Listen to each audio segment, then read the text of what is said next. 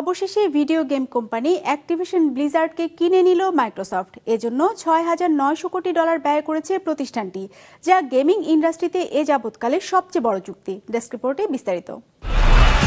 ওয়ারক্রাফট Overwatch call of ডিউটির মতো জনপ্রিয় ভিডিও গেম নির্মাতা কোম্পানি অ্যাক্টিভিশন ব্লিজার্ড।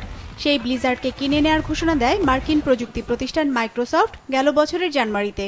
এজন্য ছয় হাজার নয়শো কোটি ডলার নগদ মূল্য ঘোষণা করে বিল গেটসের কোম্পানি।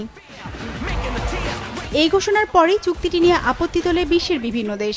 সর্বশেষ গেল এপ্রিলে চুক্তিটির অনুমোদন আটকে দেয় যুক্তরাজ্যের regulatory agency Competition and Markets Authority প্রতিযোগিতা নিয়ে উদ্বেগ দূর করতে অ্যাক্টিভিশনের গেমগুলোর স্ট্রিমিং রাইট বিক্রি করে দেওয়ার বিষয়টিতে রাজি হয় মাইক্রোসফট যার ভিত্তিতে চুক্তি অনুমোদন দেয় যুক্তরাজ্য। অবশেষে দীর্ঘ প্রায় বাইশ মাস পর শনিবার অ্যাক্টিভিশন ব্লিজার্ডের মালিকানা পায় মাইক্রোসফট ব্লিজার্ড অধিগ্রহণের ফলে Call of Duty World of Warcraft Overwatch এবং ক্যান্ডি ক্রাশের মতো গেমগুলোর নিয়ন্ত্রণ থাকবে মাইক্রোসফটের হাতে। এই গেমগুলো বর্তমানে বিশ্বের সবচেয়ে জনপ্রিয় ভিডিও গেমগুলোর তালিকায় অন্যতম। এসব গেমের পিছনে বিপুল পরিমাণ অর্থ ব্যয় করেন বিশ্বের কোটি কোটি প্লেয়ার নিজেদের ভিডিও গেমিং ব্র্যান্ড এক্সবক্স চাঙা করতে চুক্তিটি প্রয়োজন ছিল বলে জানিয়েছে মাইক্রোসফট ভবিষ্যতে আরও বড় টাইটেলে গেম বাজারে আনা হবে বলেও জানায় প্রতিষ্ঠানটি। প্রায় এক দশক ধরে বিশ্বজুড়ে বাড়ছে ভিডিও গেমের জনপ্রিয়তা। ফলে বড় কোম্পানিগুলোর মধ্যে বাড়ছে ছোট গেমিং কোম্পানিগুলোকে কিনে নেওয়ার প্রবণতা।